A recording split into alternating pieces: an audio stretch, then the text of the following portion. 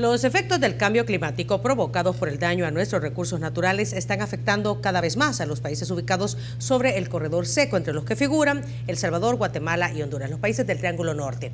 La Mancomunidad Trinacional Fronteriza Río Lempa resalta el problema de la sequía que afecta a las fuentes de trabajo y también la alimentación, como es el caso de la evaporación de la laguna Atezcatempa. Alonso Castillo estuvo en el lugar, hizo un recorrido especial y esto es lo que encontró.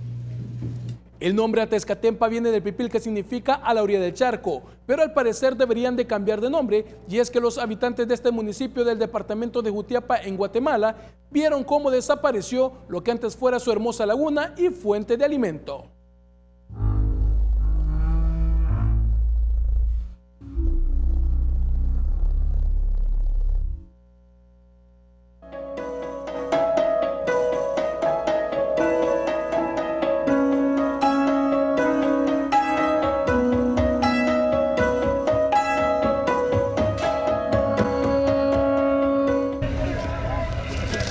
Una tierra árida y sin vida es lo que quedó de la laguna de Atezcatempa, que por años fue un punto turístico y fuente de alimentación, todo a consecuencia del cambio climático.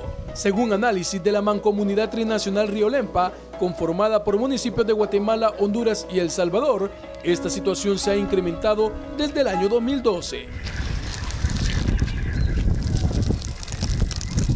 Tenemos municipios en Guatemala y Honduras con alta prevalencia a la desnutrición crónica, no obstante con el fenómeno de la sequía del 2013, 2014 y 2015 aún no hemos hecho los estudios, pero estamos seguros que el fenómeno se ha agudizado. La barca de la esperanza ha naufragado en la laguna del hambre. Para los habitantes de este sector quienes han visto con tristeza perder este importante recurso natural. Triste usted. Ajá. ¿Por qué? Ah, con ver de la laguna, fíjese. Y fíjese, mire que perro, mire, después de verla llena, no, no verla así seca.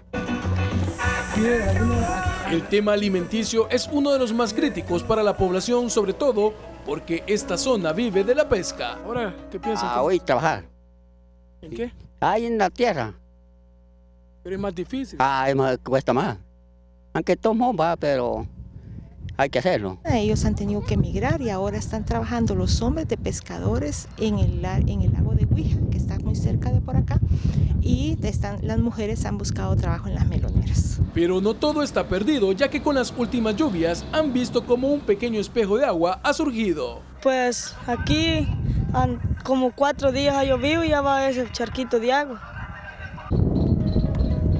El fenómeno de la sequía no solo ha afectado los mantos acuíferos, sino también las cosechas, que del 2013 al 2015 han perdido hasta el 70% del maíz y frijol, dando paso a un nuevo problema, la desnutrición.